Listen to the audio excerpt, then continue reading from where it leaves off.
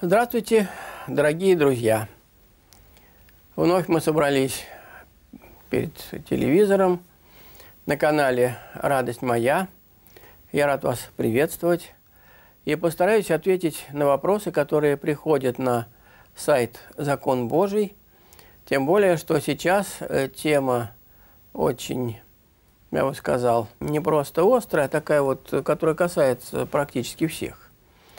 Э, речь идет о воспитании наших детей. А раба Божия Оксана спрашивает. «Я вышла замуж и родила дочь во время обучения в аспирантуре. Через год после рождения ребенка муж покинул семью. Чтобы я могла закончить обучение, мою дочь взяли родители. Уже шесть лет она живет с ними в моем родном городе. Сейчас у меня э, в столице хорошая, высокооплачиваемая работа. Должна ли я вернуться к ребенку или стоит подождать еще немного и забрать дочь к себе?» Пока это невозможно, потому что некому будет забирать ее из школы. Понятно, не нужно никому объяснять, как важно, чтобы не терялся контакт между э, матерью и дочерью.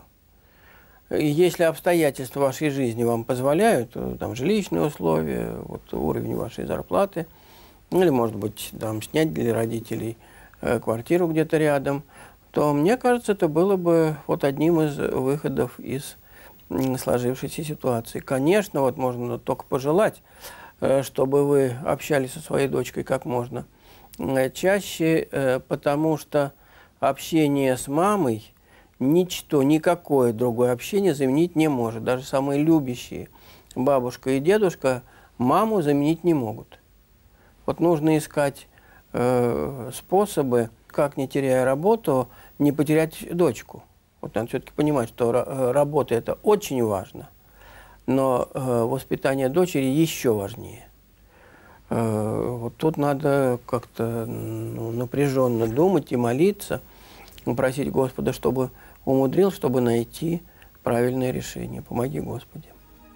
Свекровь увлекается заговорами, гаданием, верит в гороскопы – у меня маленький ребенок, полтора года. Я стараюсь всячески ограничивать ее контакты с ним.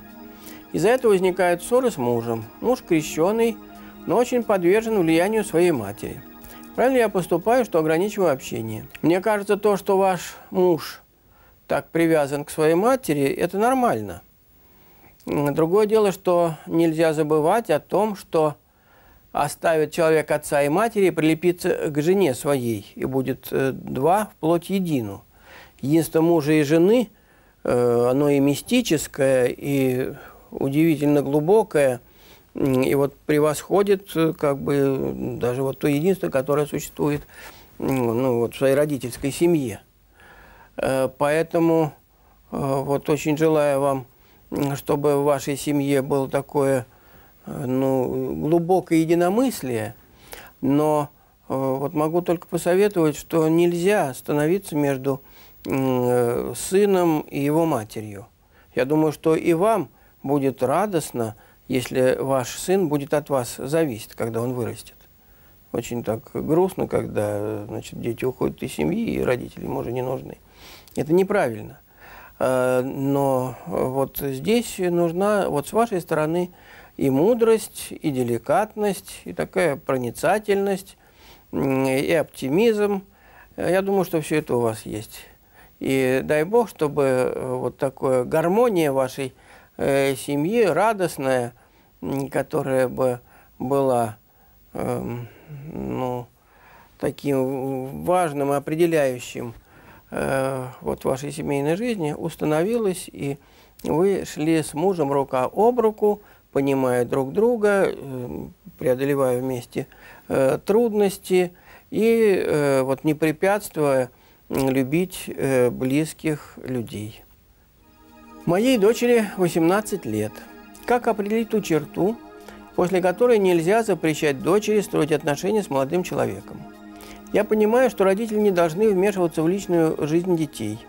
Но я вижу, что это не тот человек, который подойдет дочери – Разве не за родителями последнее слово в выборе будущего супруга? Спрашивает раба Божия Екатерина. Вот если дети хотят быть счастливыми, хотят быть счастливыми, они, конечно, должны получить благословение своих родителей. Если они хотят строить семью, как все, в 50% случаев, если не больше, э, заключенные браки распадаются, то тогда можно и обойтись и своим собственным выбором. Но это, конечно, ошибка. Но вот взрослый человек, он уже в какой-то мере сам определяет э, свою жизнь и свои поступки. Но, конечно, девушке 18 лет, совсем не так много лет, у нее не такой большой опыт, чтобы она могла безошибочно строить свою жизнь. И вот церковь об этом и говорит, что нельзя вопреки воле родителей. Поэтому можно пожелать вашей дочери, чтобы она со всей серьезностью относилась к э, мнению своей мамы, не пренебрегала бы им. Но и вам хотелось бы посоветовать э, быть и любящей, и мудрой. Вот это очень важно. Доносить свою правоту до вашей дочери так, чтобы она ее восприняла, а не отторгала. Но еще нужно сказать, что девушка должна быть строгой и неприступной. Ведь невеста от слова «не ведать». Очень страшно, когда молодые люди, горячие, эмоциональные, все понятно, но переступают ту черту, которую переступать нельзя. Вот когда исчезает вот эта тайна, исчезает эта благодатная чистота, которая так и привлекает э, в девушке и вызывает очень глубокое уважение к ней.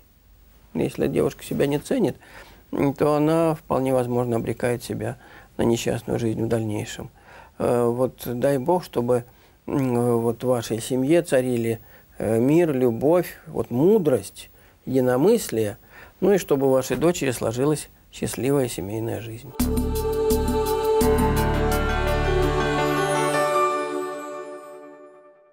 Теперь я постараюсь кратко ответить на несколько ваших вопросов. Можно ли крестить совсем маленького ребеночка, если у него насморк? Наталья, я бы не советовал. Э, даже, не, скорее всего, ничего не будет. Потому что Господь милостив, и когда приступаешь к таинству, то Господь дарует свою благодатную силу. Но если где-то там не досмотрели уже дома или еще где, вот люди неизбежно свяжут там какое-то усиление насморка с тем, что его крестили. Хотя я думаю, что это не может быть связано.